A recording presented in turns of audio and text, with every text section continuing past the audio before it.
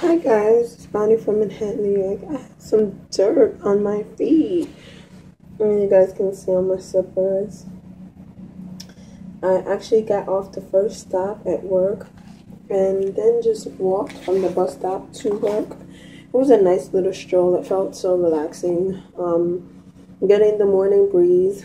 It almost felt like I was on the beach because my job is by the ocean. So I'm in my uniform and my Diva Old Navy skinny leg jeans. And I'm in my uniform. I have my bag. So I figured let's do a what's in my bag. So I have my uniform um, blazer, if you will. Um, some snacks, some lotion, which I mixed myself, so it's a custom mix in there. Extra pair of Victoria's Secret because you guys know I don't wear underwear. Some socks, some gloves just in case I need it, um, a pad, some panty liners, some always, some candy that I had in there for two years, the BMX 7 express bus schedule, some Tic Tacs for after I eat, some more snacks, a bag to put my shoes in, um, a fruit bar, some napkins from CVS, some more pads, some um, Fekkai cream for the hair. Thank God it didn't spill. I just caught that. Some more snacks. And the pricing for this bag, which is $40. Um, and what it's capable of doing. So, yeah, that's what's in my Nike bag that I started bringing to work. I like the colors. That's what made me buy it. They had all black, but I was like, I want something colorful.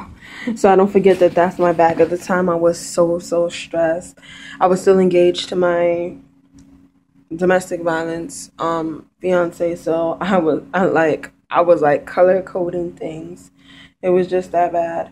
So I've had this bag for two years now.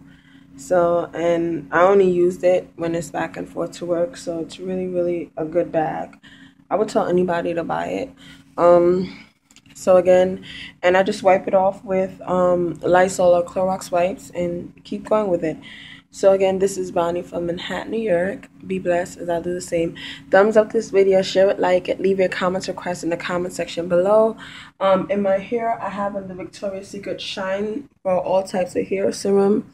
On my face, I have on on my body, I actually have on the Victoria's Secret Dry All Oil. On my lips, I have on the NYX Eclair, I believe. I think that's what I have on my lips. If I can find it. This is just something I need to throw out. It came off my bottle and it won't go back on.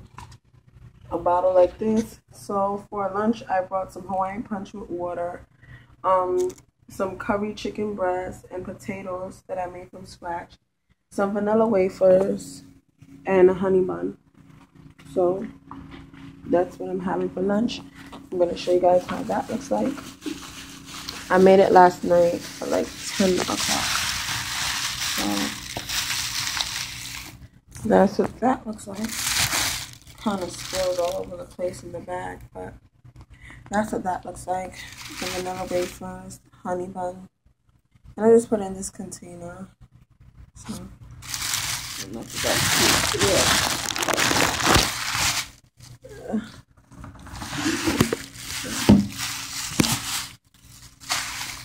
That's that looks like.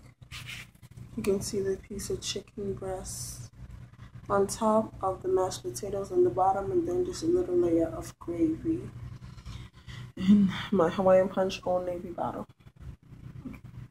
Okay, be blessed. I'll do the same again. This is Bonnie from Manhattan, New York. I'm looking for my lip gloss that I have on. I'll tell you guys what color.